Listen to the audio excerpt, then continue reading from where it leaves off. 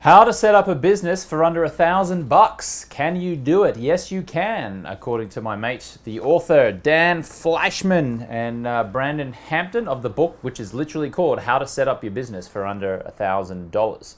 Uh, at the beginning of the book, there's a 30 point checklist. So let me just go through the checklist now and then I'll uh, talk a little bit about um, you know how I set up uh, my businesses, and I usually do it for about 500 bucks, even this is which is under thousand dollars, which is awesome. All right, so here it is. The checklist is number one, have a great idea. Number two, come up with a memorable, easy to spell, catchy business name. Number three, research the overall industry, competitors, and every detail that you can find. Number four, figure out how much it's going to cost to start and operate your business. Number five, ask your family, friends, and associates what they think about your business. Number six, determine how you will finance each stage of the business. Seven, write down an executive summary. An executive summary means basically a business plan, how you're going to do it. Uh, number eight, uh, write down the business plan. Number nine, register your website domain name. So you might go to GoDaddy or whatever and just register the name. Number 10, register the name spelled correctly, exactly the same across all major social media platforms. Number 11, fill out the same bio on Facebook, Instagram, Twitter, Pinterest, Snapchat, and YouTube. I'm doing a review of the book How to Set Up Your Business for Under $1,000 by Dan Fleyshman and Brandon Hampton. Number 12, file for a corporation, partnership, LLC once you've determined legal structure. 13, do your SWOT analysis.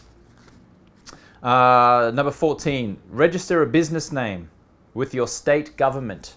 Number 15, get a tax identification number. Number 16 is register for state and local taxes. 17 is open a bank account.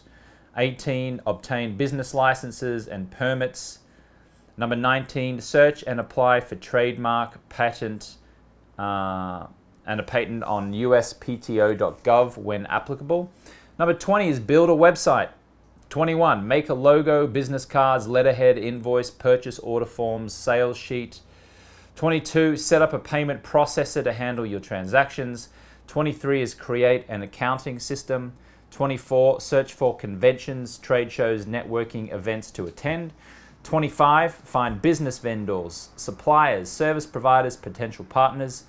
26, look for a business mentor that can help guide you. 27, refine your pitch. 28, prepare your marketing plan. 29, scream from the mountaintops about your company to get people to support you. And then number 30 is sell, sell, sell. So there you go. There's your 30 point checklist for setting up your business. Um, and then there's another section here which is like 20 questions um, before starting. Um, and the questions include like, why am I starting a business? What kind of business do I want? Who is my ideal customer? What products or services will my business provide? Am I prepared to spend the time and money needed to get my business started? Uh, what differentiates my business idea and the products or services I will provide from others in the market? Where will my business be located? How many employees will I need? What type of suppliers do I need? How much money do I need to get started? Will I need to get a loan?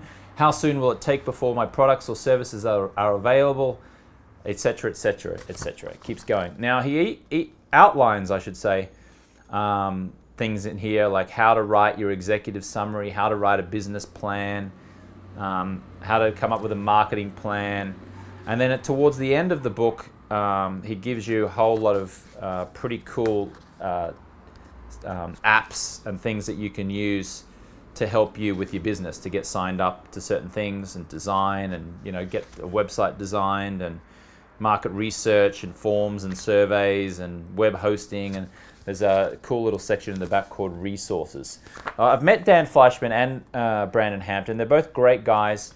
Um, Dan Fleyshman is the youngest owner of a publicly traded company in history, and Brandon Hampton is the largest independent social media publisher uh, in the world. Um, so yeah, I, I've set up a few businesses now, and I've done it all for around about 500 bucks. That's all you need. A lot of people think mistakenly that you need to like all this money, money, capital, investment just to get started. No, what you want to do is you want to come up with an MVP, a minimum viable product. That means just do something so, so, so, so small and simple that doesn't cost a lot of money and just get it out there and test it. For example, my Swannies blue light blocking glasses. Chris, uh, can you grab my uh, pair of my Swannies for me, please? So when I first uh, designed and created my Swannies blue light blocking glasses, um, uh, I made sure that I got a minimum order, a minimum order from um, my manufacturer. Here they are here. So I didn't, I didn't spend like ten thousand dollars buying like a thousand or thousand or two thousand units or whatever. Uh, I'm just making up numbers here, but I didn't spend ten thousand dollars and buy ten thousand different units to try to sell and just like cross my fingers and hope for the best. Yes, we're going to sell these, or geez, I hope we sell them. No, I just did a minimum order, which means initially I only purchased 300, um, uh, 300 of my Swannies blue light blocking glasses, and then I put them on Amazon, and that was enough to test. Now, I was willing to blow that money. Um, to find out whether people would actually buy them or not. So I was willing to take that risk. Um, so just to be clear as well, I did spend more than $500 setting up, buying the inventory to sell that. But the $500 that I mentioned before, the setting up the business, is everything to do with like setting up a website, getting a design, uh, and all those like, kind of intricacies. So I just want to clarify that. Um, so uh, can you set up a, a business? for under $1,000? Yes, you can. Uh, you might have to hire like an accountant or, you know, there's th things to do with like opening bank accounts, marketing, websites, GoDaddy, um, getting website domains, all that kind of stuff.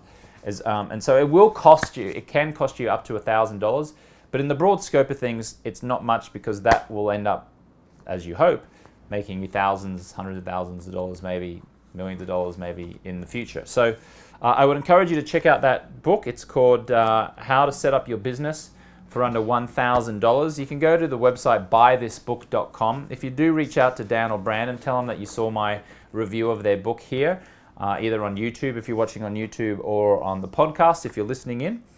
Um, and uh, yeah, go ahead and grab that book.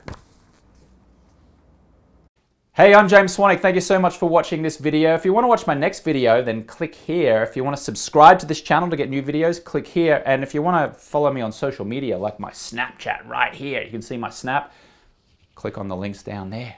Go on, do it now. I'll wait for you. Snapchat, Snapchat me, Snapchat.